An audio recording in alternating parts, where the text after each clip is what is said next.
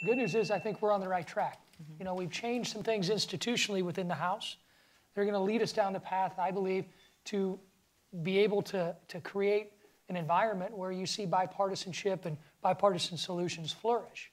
Mm-hmm. A- At the same time, it's groups like Center Forward, it's outlets like the Well News, it's folks like this and all of you in this room that are going to help us spread that message. Absolutely. Because as Stephanie said, as John said, you know, the, the 24-hour news cycle is not going to cover what we're doing here today.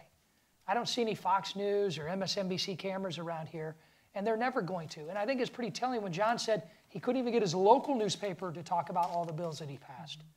I guarantee it was zero in the national media that talked about any of those bills. Thanks, Rodney. You know why? Because they're good bills. They actually made the country better. And that's why we've got to continue mm-hmm. to spread the message when we leave here today that we're not just up here for the panel. We're going to continue to work together. We're going to continue to make this place work.